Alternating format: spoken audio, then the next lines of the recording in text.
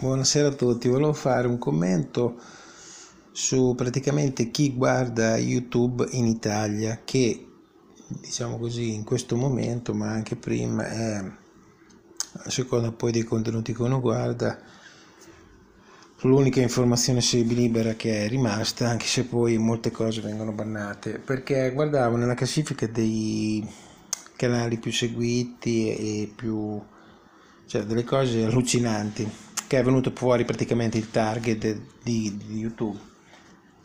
Allora, le persone di 40-50 anni, ahimè, come informazione usano ancora i giornali e la televisione, quindi allucinante. Mentre eh, YouTube è molto usato dai, dalle nuovi, nuove generazioni, quindi 12 anni, 15 anni, 18 anni, però guardano cazzate logicamente, guardano ovviamente ce n'è uno lì Capitan mi ricordo come si chiama un ragazzino scemo scusa sto lo dico sono un po' scemo. Un milione e duecentomila iscritti che fa vedere se un, un ragazzino gioca con Fortnite la mamma glielo spegne lui spacca tutto. Cioè veramente ma che cretinate sono? Quindi che speranza abbiamo? Lo dicevo anche a Coso Morissan che l'ho scritto non abbiamo nessuna speranza di farcela perché in Italia secondo me ci saranno un milione di persone che guardano YouTube ma poi di questo milione sono suddivise in 100.000 che guardano le cose diciamo così che stanno succedendo adesso e 900.000 sono tutti questi ragazzini sfigati, poveracci, celebrolesi che veramente ogni giorno che vado in giro guarda ne vedo boh, no ma c'è da stare anche attenti perché sono matti. Da ragazzino so che ti taglia la strada mentre vai in macchina gli dici qualcosa e questo ti impenna. Mentre tu vai con la macchina ti impenna da dietro che se gli inchiodi per farlo smette di fare lo stupido si scoppa pure dal ragazzino che ho avuto a che fare una volta un ragazzino che l'avevano lasciato degli albergatori a gestire l'albergo. Guardate che occhi faccio allucinante. E di 16 anni che gli ho detto guarda ho finito la carta igienica me la puoi dare? E lui ah ma no ma lei si lamenta sempre. Cioè veramente questi ragazzini sono talmente immersi.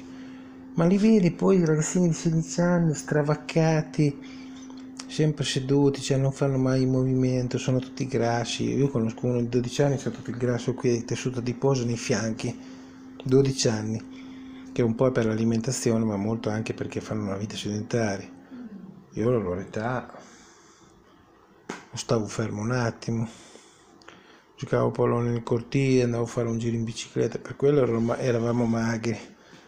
Cioè, è tutto lì il segreto, che puoi anche mangiare insomma un pochettino, ma uno si muove tanto, è chiaro che da ragazzi ci si muove tanto, da adulti ci, soprattutto dopo i 40 anni ci si muove meno, anche perché si usa molto la macchina, io no, e quindi bisognerebbe introdurre meno calorie, anche perché il metabolismo cala, quindi bisogna introdurre meno calorie, invece ne introduciamo parecchie, purtroppo.